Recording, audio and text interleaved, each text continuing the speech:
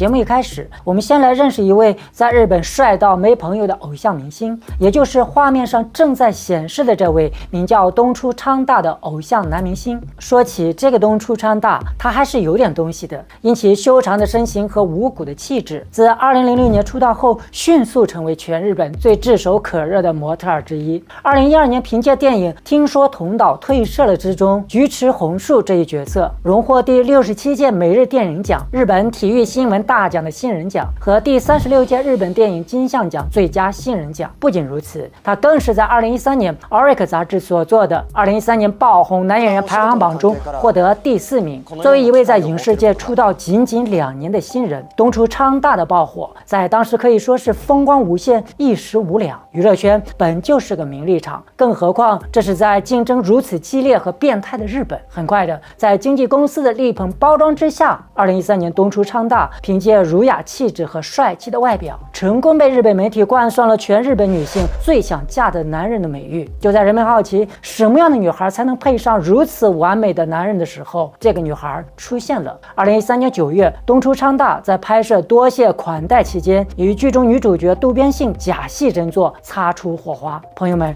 渡边信这个名字是不是有点熟悉？对你没猜错，这个渡边信就是日本著名男演员渡边谦的女儿。顶着星二代的光环，渡边信不仅长相甜美、活泼可爱，她更是一位才华横溢的超模、主持人和演员。在与东出昌大确定恋爱关系的当年，一跃成为日本新生代国民女演员。哇哦！当国民女演员遇到全日本女性最想嫁的男人，可想而知他们的结合要被多少日本女孩羡慕、嫉妒、恨啊！但令所有人没有想到的是，二零二零年八月，东出昌大和渡边信突然官宣已经离婚。离婚的原因疑似东出昌大婚内出轨。日本媒体深扒之下，发现早在2017年，渡边信在已经诞下一对双胞胎女儿之后，正在孕育第三胎的时候，东出昌大就已经与当时正在拍摄《夜以继日》的同剧组的女演员唐田英里佳有染，直至与渡边信官宣离婚，历时三年。但是这个时候还没到东出昌大人设崩塌最要命的时候。直到前几日，也就是2024年元旦刚过，日本媒体又突然爆出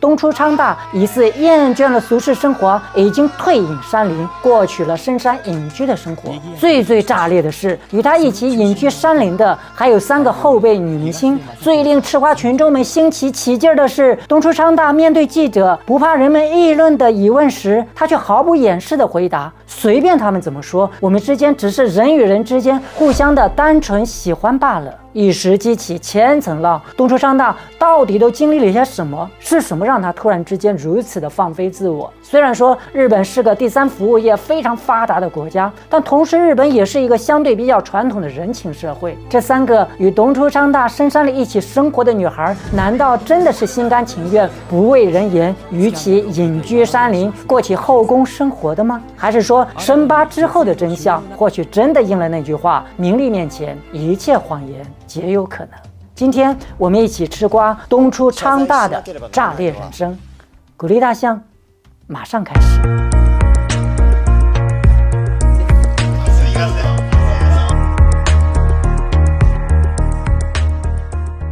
大家好，欢迎收看《万象奇谈》，我是大象。二零二四年一月九日，也就是大象写这篇稿件的十天前，日本富士电视台的纪实纪录片栏目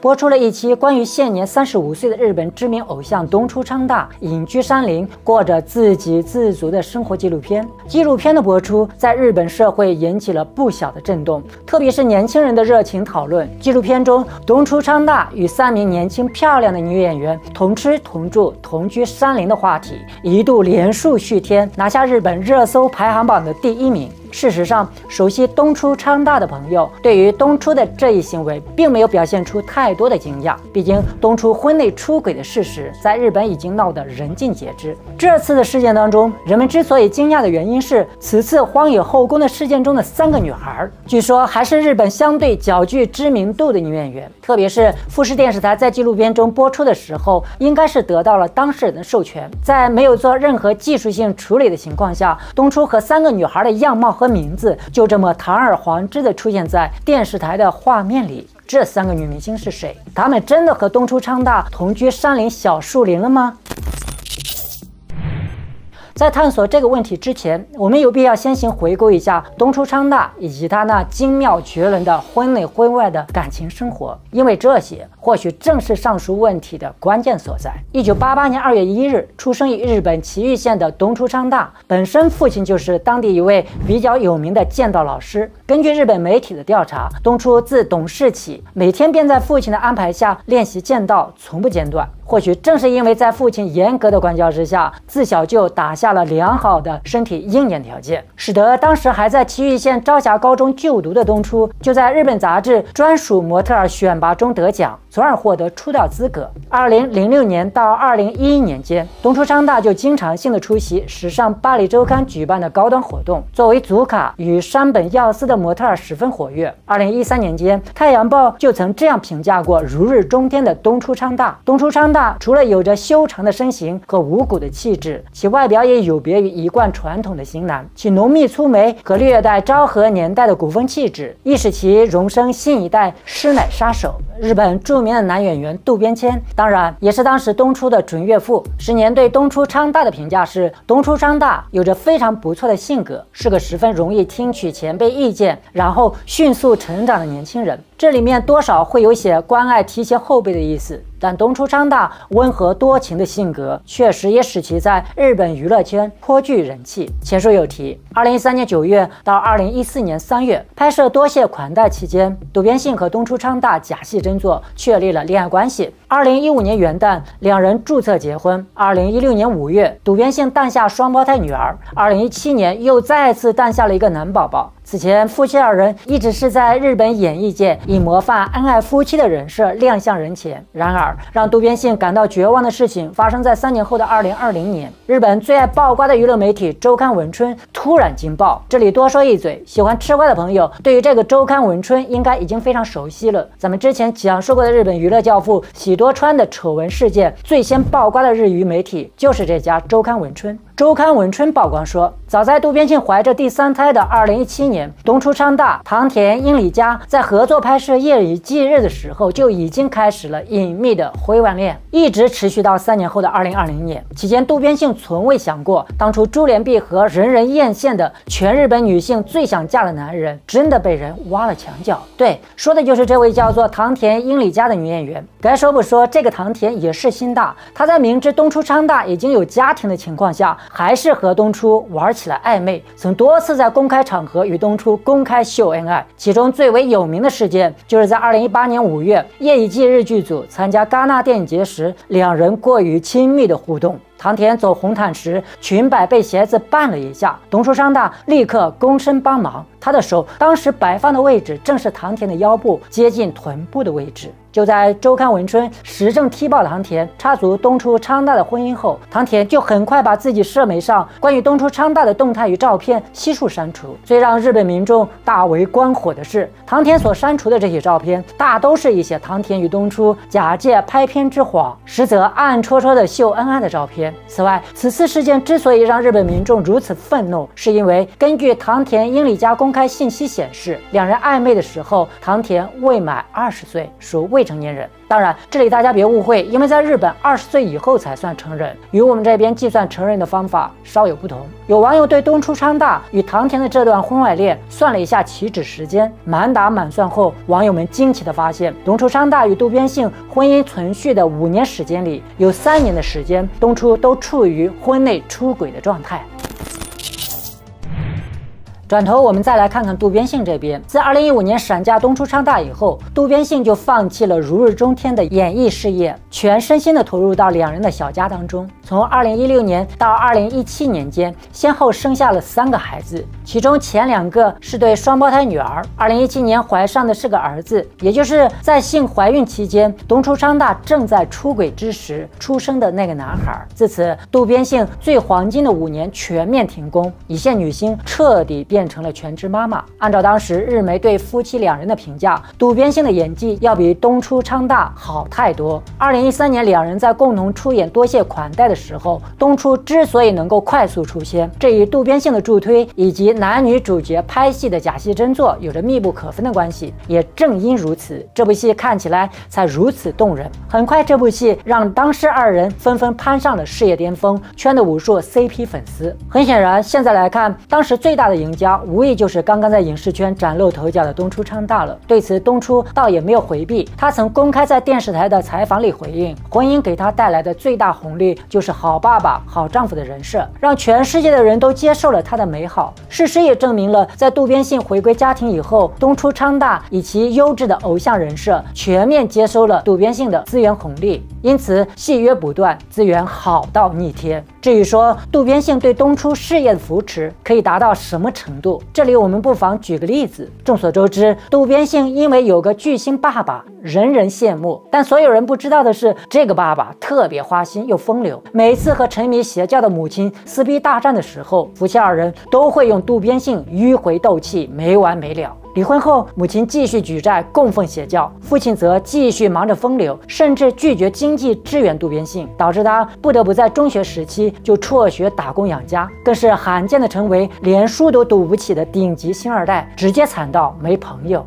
依靠自己长大的渡边信，自是对父亲渡边谦没有好感。自他懂事起，就鲜向外人提起自己的父亲是著名演员渡边谦。甚至入行时，他弃用渡边的姓氏，直接用姓的艺名闯荡江湖。直到后来名声大噪后，被媒体扒出原来姓有个如此大名鼎鼎的明星父亲。尽管如此，任何场合信也拒绝提起父亲，更是不会与其有任何形式的往来与合作。但令所有人不曾想到的是，二零一四年，渡边谦突然与未来的女婿。东出昌大实现了翁婿同框，并公开发表了前述所提的东出昌大有着非常不错的性格，是个十分容易听取前辈意见，然后迅速成长的年轻人的公开赞美。可以说，提携之意已经相当明显。当时就有渡边信的粉丝公开挑逗东出昌大：“如果你还不是个傻子，你就应该好好的善待信。所有人都能看得出，信把所有能够给你的全都给了你，自己都不屑父亲的帮忙，却为了提拔丈夫同意。”了父亲的合作，面对渡边信掏心掏肺的鼎力支持，东出昌大似乎早已习惯成自然，并不觉得这是什么值得感恩的事情。他一边在综艺节目里大谈自己作为丈夫是如何对信贴心与照顾，甚至夸张的表达自己每天最开心的事情就是回家与妻子带孩子，一边又在拍戏间隙与唐田浓情蜜意，以至于经常打着宣传的名义与唐田各种高调秀恩爱。事实上，根据周刊文春的调查，自第一对双胞胎出生以后，直至后来第三个男孩的出生，渡边幸都是一直过着丧偶式的育儿生活。出轨事件曝光后，网友们发现东出昌大面对媒体的采访，回应的内容一次比一次让人绝望，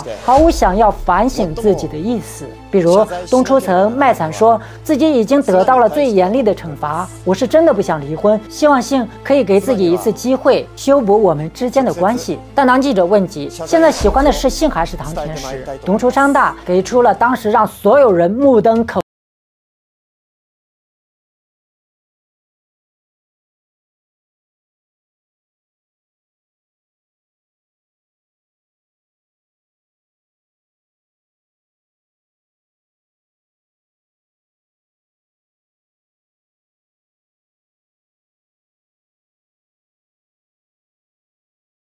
妻を傷つけることになると思いますので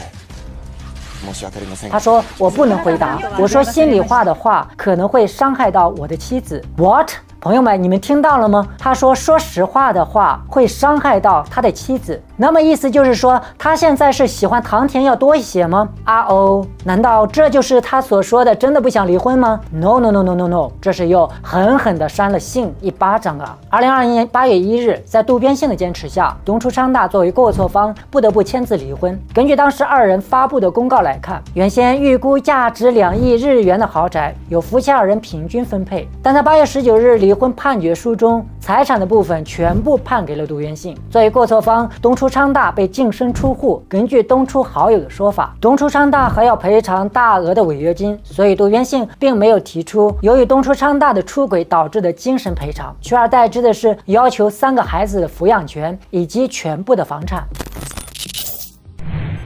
就在所有人认为被净身出户的东出昌大应该很快就会歇菜了。按照以往的经验来看，日本明星被曝行为不检点后，一般都会潜行潜止，低调蛰伏，再找机会试探性的重返舞台。但是东出昌大绝对是个例外，出轨事件被曝，致其离婚后，东出昌大所在的经纪公司非但没有雪藏东出，为了使其能够顺利度过这段非常时期，经纪公司在事发后的两年时间里，为东出安排了两部电视剧、五部电影，还有若干舞台剧的演出。也就是在这时候，东出商大不知道是踩了什么狗屎运，竟然搭上了长泽雅美，转眼就成了系列电影行骗天下固定三大主演的其中之一。那段时间，经纪公司更是动用了媒体资源，大吹东出潜心演技，接下来的时间会专注演艺事业，可以说是资源好到没朋友了。根据当时日本媒体的推测，东出商大毕竟是个皮相不错的国民男星，曾被评为全日本女性最想嫁的男人。虽然经历了出轨事件后声誉有损，但其脸蛋和身材还是在的嘛。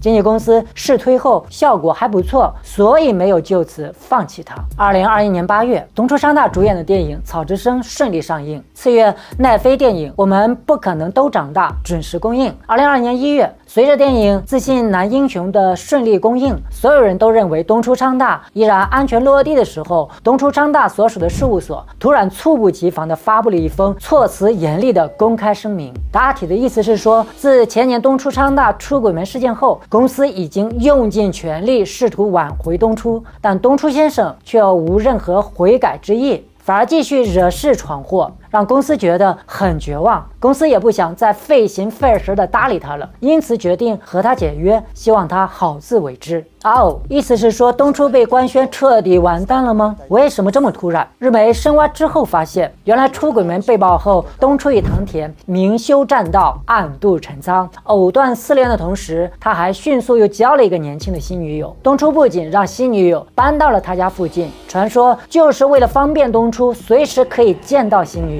甚至就连当时东出在广岛无事拍戏的时候，他就曾携这个新女友在当时下榻的酒店连续住了三个晚上。按照娱乐记者井上幸三在二零二一年十月十五日朝日广播电台播出的广播节目《演员》节目中的说法，经纪公司知道此事后非常吃惊，事务所的所有人都在为他重回正轨做最大的努力，但东出本人似乎并不在意。公司上层领导似乎也有与东出本人打过招呼。警告过他，如果被抓，这会给剧组的联合演员和制片方带来非常大的麻烦。作为演员，你不可以这么做。经纪公司的警告并没有对东初起到威慑作用，结果就是他被开除了。随后，多米骨诺牌效应开始出现连锁反应。八卦杂志很快爆出，东出昌大有习惯性的撩拨女性的劣迹，本田翼、青木洋子都曾是他的猎物。行骗天下时还撩过长泽雅美。小道消息说，雅美对已婚男人不感兴趣，所以并没有接招。紧接着，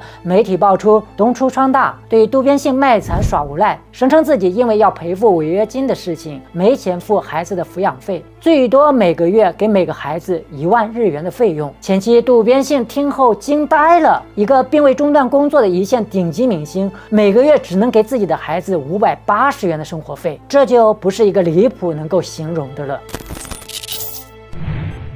故事讲到这里，我们可以回到节目的最初了。根据日本富士电视台的纪录片显示，二零二二年开始，东出昌大就和三个后辈女明星住在山间的一个小屋里，没有煤气，没有自来水，他们做饭的水都是从山里接来的，砍柴做饭兼取暖，自己狩猎采摘野菜，有时还会吃昆虫。面对镜头，东出说自己并不适应东京的生活，他和姑娘们生活在山里，觉得自由自在，这正是他想要的快乐生活。事实真的是这样吗？我们首先来认识一下这三位日本女明星。首先是乌森真藤，二十七岁，二零二三年八月上映的左轮手枪百合的女二号。然后就是二十九岁的斋藤，热门电影《完美的日子》和奈飞电视剧《悠悠白书》正在热播。另外，斋藤还是 ABC 电视台深夜综艺节目《扎基山小屋》的常驻嘉宾。三个人当中最年轻的，现年二十岁的松本花玲，是一年前日本小姐的决赛选手。朋友们说，这三位正值花样。青春年华的日本女明星会同时放弃光彩夺目的日本娱乐圈，和东出昌大隐居在这缺水少电的荒野山林里，还要上演什么三女共侍一夫的戏码？讲真，打死东出我都是不相信的。不信吗？大象继续带你扒。根据富士电视台最新一期节目，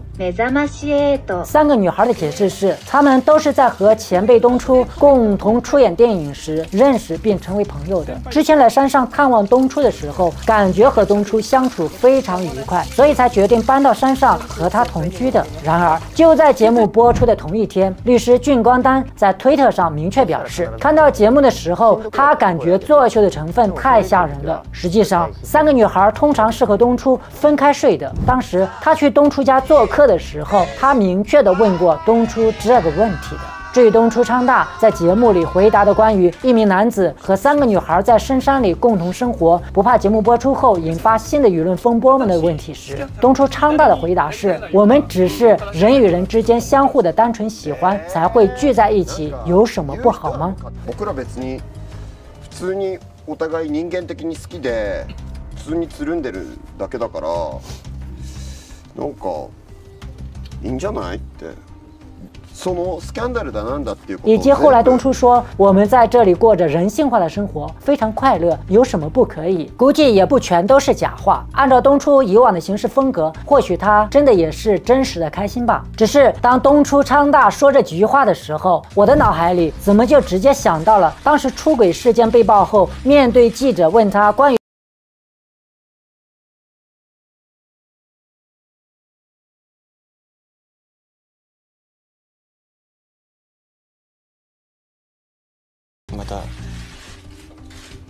私の心の内を今ここで喋ることは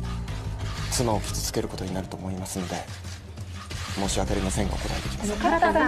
好吧，或许这就是渣男的语言艺术吧。但是循着东出昌大活动的蛛丝马迹，似乎我又发现了新的让人惊讶的内容。其实早在2022年，日本娱乐杂志周刊女性就曾整幅报道过关于东出昌大丑闻退圈后隐居山林生活的事情。当时的着重点在于东出厌倦了东京的繁华喧嚣，他在读了千松信也的《我成为了猎人》后，决定搬上山，并爱上了现在的。狩猎生活。本次报道除了一些风轻云淡的写文之外，还配有东出轻松写实的类写真照片，大有推倒重来的意思。只是似乎当时的这篇报道并没有在日本的娱乐市场掀起丁点儿的波澜。事隔一年后，日本富士电视台的这个纪实纪录片采用了耸人听闻的标题：一男三女的隐居生活、荒野后宫、自给自足等等内容。果不其然，这一次东出昌大炸裂开眼。节目后半段，东出昌大有模有样的翻出了自己的行事历，对记者说：“他并不是彻底的归隐山林，有演艺工作的时候，他就会下山露面；如果只是开会之类的事情，他就会要求线上参加。甚至在他翻看2023年十月份的日程表，东出昌大只有三天的时间是空闲的。另外，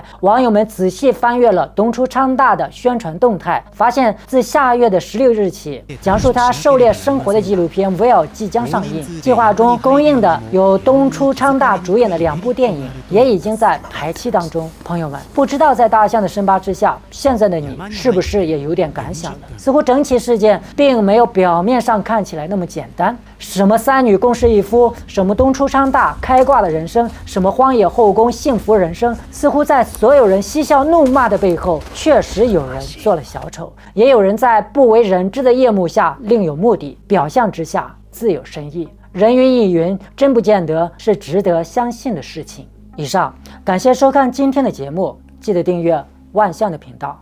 平安喜乐。